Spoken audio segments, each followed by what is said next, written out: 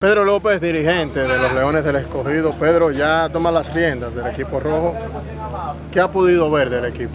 Eh, nada, eh, de verdad muy contento de estar aquí. Eh, el equipo se ve muy bien hasta ahora. Sabemos que todavía faltan muchos elementos que tienen que integrarse al equipo, pero hasta ahora sorprendido con lo que he visto. ¿Qué reportes has recibido de parte del staff? Eh, muy buenos reportes. Desde el primer día este, la vibra de los muchachos ha sido muy buena. Los muchachos han hecho tremendo trabajo tratando de prepararse para esta temporada que empieza el 15 de octubre. Así que nuevamente bien contento de estar aquí, poderlo ver por, mis propios ojos.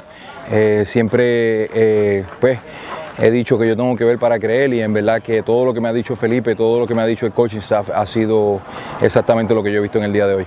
Eres un dirigente con vasta experiencia en Lidón. ¿Qué significado tiene para ti llegar a una organización como la de los Leones del Escogido? Eh, un, es eh, un reto sumamente importante, para, no solamente para mí, sino también para mi familia. Eh, estar vistiendo esta camisa en una organización como es los Leones del Escogido, de verdad que pesa mucho, pero mucha, este, muy agradecido de Luis Roja, que lo considero como un hermano, no solamente trabajamos junto con los Mets, pero es un hermano mío eh, y a la gerencia por la oportunidad que me está dando. Y así que estamos aquí para dar el todo por el todo y darle a las fanaticadas lo que en realidad se merecen, que es un campeonato. ¿Cómo se asume este reto con los Leones? Eh, número uno, con, pidiéndole al Señor que nos dé la, inteligencia y la sabiduría eh, pues para, terminar, para poder tomar las decisiones correctas día a día y, seguir trabajando, seguir trabajando fuerte, tratando de desarrollar estos muchachos que sean mejores, este, no solamente mejores peloteros, sino mejores individuos también. El equipo está apostando al picheo, sobre todo en un hombre experimentado como Iván Nova. ¿Qué nos pudiera decir? Eh, picheo y defensa ganan campeonato. Yo soy fiel, este, fiel creador en eso.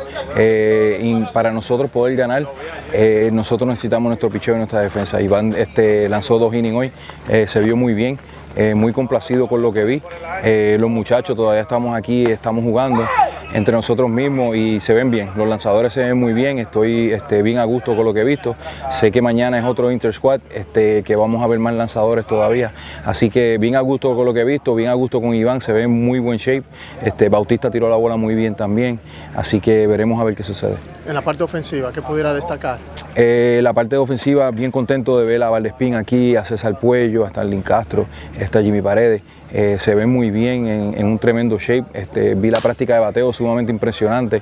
Ahora, como te dije anteriormente, estamos aquí en jueguito entre nosotros mismos, así que se ven bien, los turnos son buenos.